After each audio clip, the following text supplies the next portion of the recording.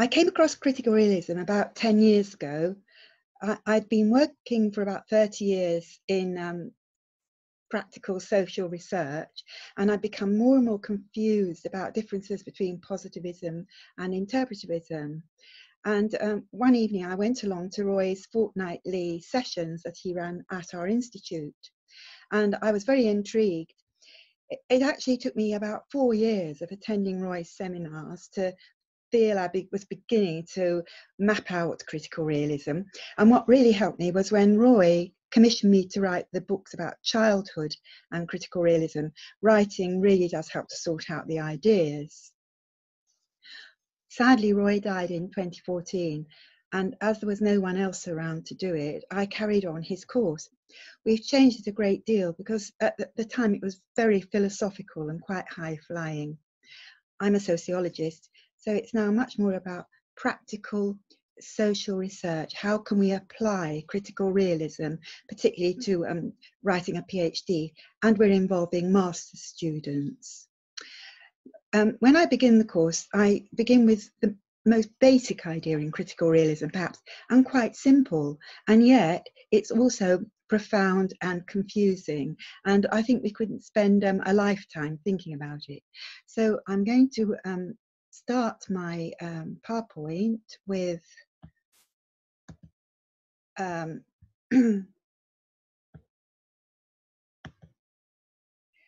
um, right, with theory, the critical realism's greatest strength and contribution. And theory means a way of looking and thinking, and theories open and close our vision. For instance, until the 1970s, um, everyone tended to be uh, racist and sexist. Many were eugenic, without really being aware that that was the theory driving their work. Um, it's most important then, and the most practical thing when we're starting research, to clarify our theories and our hidden assumptions. so the confusion was between positivism, which um, is the little icon of the detached objective scientist looking at the uh, uh, data, the object of research, isolated from its social context, um, tending to be objective, statistical, quantitative, to measure, evaluate, compare facts. Now, in health research, positivism is vital, for instance, in clinical trials, but it's not so useful in uh, social research and interactions. For that, interpretivism is so valuable.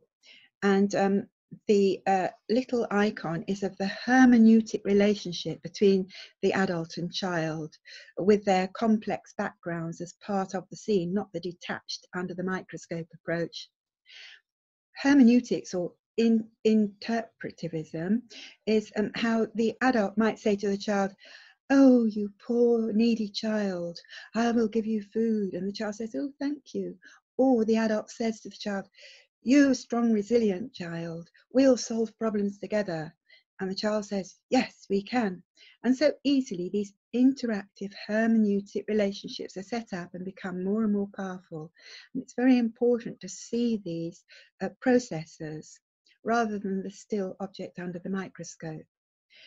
So the different kinds of interpretation, many kinds, including constructivism and postmodernism, they tend to be subjective, interactive, um, of course interested in qualitative research which describes but the problem with them is when they may be relative and contingent and believe that things only matter and make sense within a context, not outside it.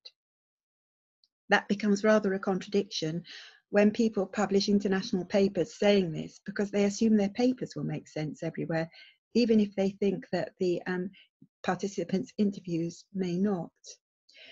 Um, it was a great relief then to come across critical realism and to see that these two important approaches, which their adherents tend to see as standalone, although they do combine, many do combine them.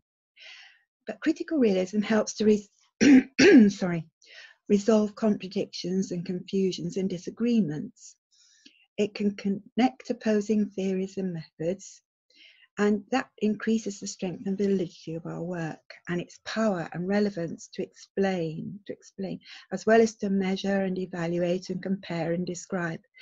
So I've put the little icon of the person thinking about how the bits of the jigsaw all fit together rather than contradict one another.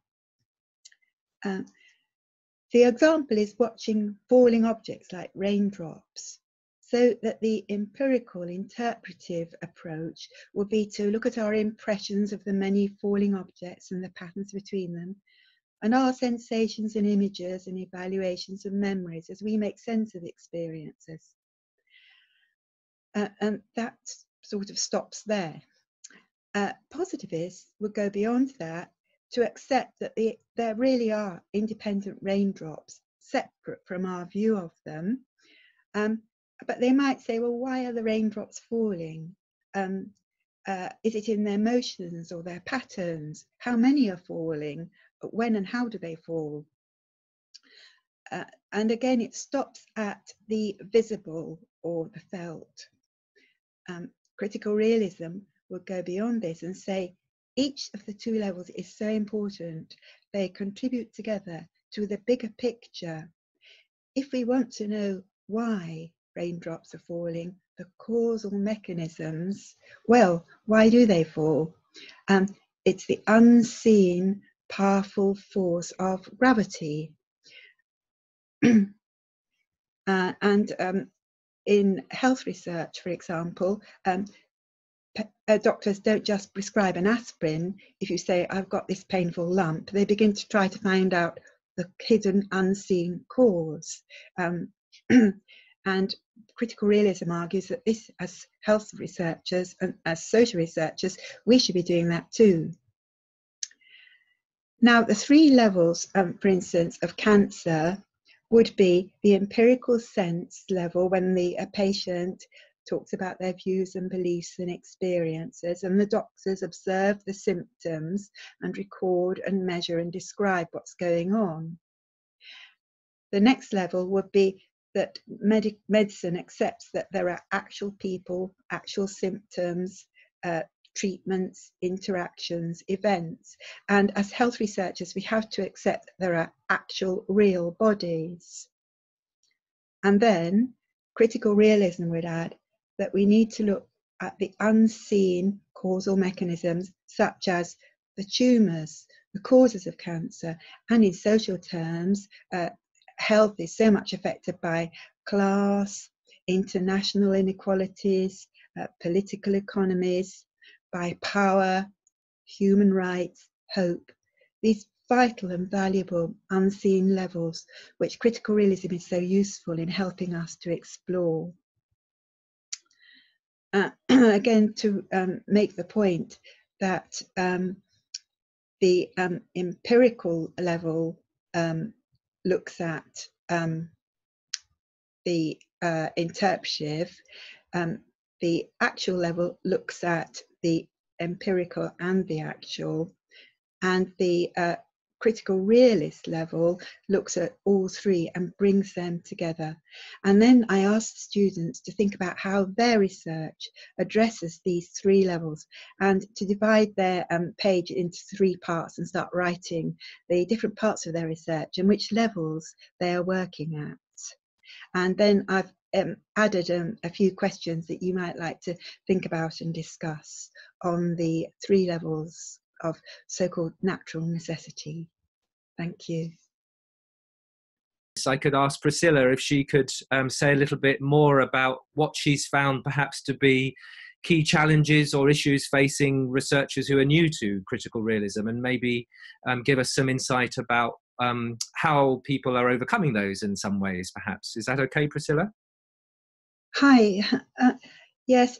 Well, we've been doing the course uh, for now five years uh, since Roy died, and uh, we keep to his program. Uh, I uh, it I do ten weeks, and uh, it's the same topics that Roy did, and the same background readings and everything. Um, one thing that has changed though is that hundreds of people have now attended that. I do crash course days as well, um, and uh, with the help of all these people, we've really emphasized the application and more recently I've started doing activities so that in, in pairs everyone explains their PhD or their other research to each other and then they work on a topic like dividing their work into the empirical, actual and real. And I do hope that helps them to fix the ideas in their minds and transfer the theory of critical realism in, into the heart of their work. Um, I also emphasize that um, you don't need to know the whole of critical realism, um, who does, uh, to be able to apply it. Um, you might like to pick up one or two ideas, see how they go. Um, also, I think that it's strange, but people seem to find that idea of the uh, three levels of reality the hardest. And maybe Roy was right when he said um, for two and a half thousand years, we've been encouraged not to look at the absent, the unseen, the unknown, the future, indeed, which is really fascinating work. Um, I've done some work on utopian research, and indeed, all research really, in a way, is utopian in that when we see any problems, we implicitly say, well, there should be some kind of alternative. Critical realism really opens the way to that.